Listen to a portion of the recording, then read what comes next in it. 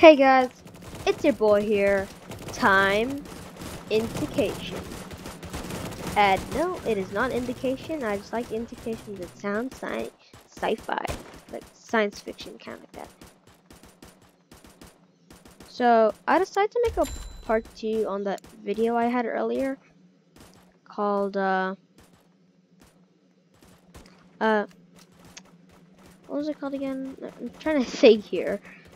Um, I'd say it was one of my tower defense videos. Well, it was my first one called Tower Defense Simulator. Or was it This Game is Really Cool? Uh, I don't really know, but it's something. It's something. Oh, did we just lose? Oh. Oh, that sucks. You just missed like a few seconds. I don't know.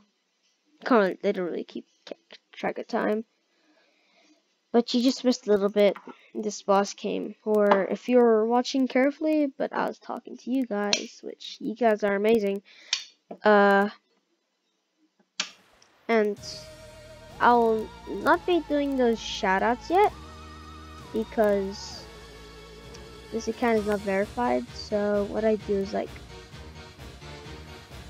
I can't make videos that are 50 minutes long so maybe on another video probably something I'll probably mention. Let's see if I can afford something. What does the freezer cost 800 soldier 350 Let's go Never. Nope, that costs Robux. I don't really like when they make you pay Robux or something. Gotta get something from the 200. Or at least 169 bucks. Emotion does that and Soldier does that. Okay. Might as well have to keep on playing. Okay, which one should I go in? Oh, normal. Against this one. Yes, I got in. Looks like we're gonna be playing on Moonbase. Okay. Okay. The read it better.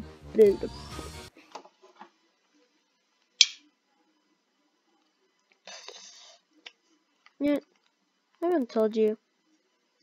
You guys really have to check out this game it's very fun and it's not like those type of games where you're the one shooting you're letting other people shoot or these little characters as I call them. Those soldiers. Oh you defend there. I remember one time there was so many things that looked like the entrance I put one of my characters over there and it oh, better